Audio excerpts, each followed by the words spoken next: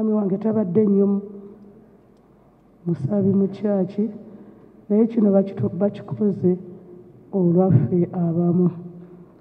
Tweyanziza nnyo faada tweyanziike bannange kanzizeeko okwebaza abasawo ab'ekisubi abakoze omulimu ogw'amaanyi ennyo ennyo okulaba nga bataasa obulamu bwa mwami tamale mirundi.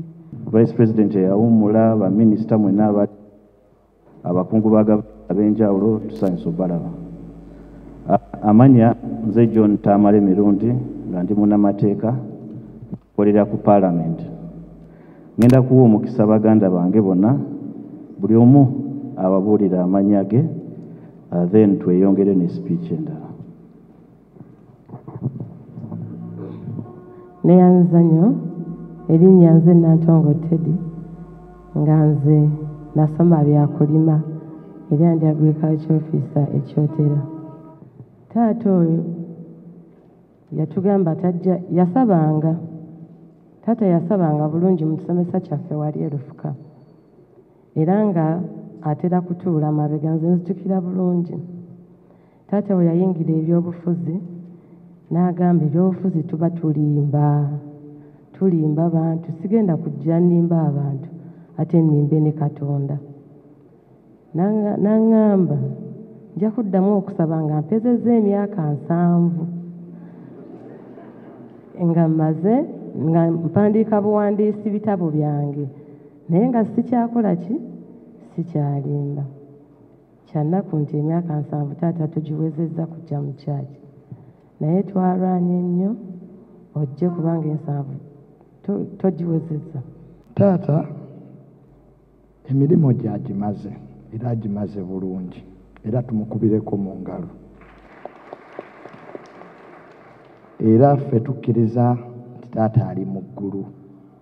Taata ali mu ggulu era tufunye malayika endala etulwanirira. Nebaza nnyo bonna nebaza nnyo omuntu ow'enjawulo gwe tuleseeyo genero sale musale abadde wankizo nnyo mu bulamu bwa taata. Bwe twagenda ne taata ewa genero genero yamugamba nti ffe tetusobola kukuvaamu era tuli naawe. Era genero sale tukwebaza byonna n'abalala bonna. Taata mukama omwoyo gwo akuumuze mirembe mirundi akaayanye n'ensi eno mirundi yasooka okukyusa mentality z'abannayuganda eyatandika ekintu kino ekyokulaba nti abasinga babadde bakikola. Nasooka kufiirwa muganda wange isima kuba nze namujja e sweden. Isima era naye yayigira ku mirundi katateera ne mirundi anziruseeko naye ndi mugumu lwa nsonga nti emirimu gyabwe bagituukirizza tamala emirundi ayinza okwebaka awo naye tamala emirundi waali. Muyinza omutwala e masaka naye mbasuubiza nti mirundi ajja kusigalawo kubanga teri mirundi mulala asobola kufunika.